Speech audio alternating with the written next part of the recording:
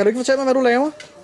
Bære to meget vægtende kander med meget vand i. Hvorfor gør du det? Fordi jeg, jeg træner mig. Åh, oh. oh, det ser hårdt ud. det er der også.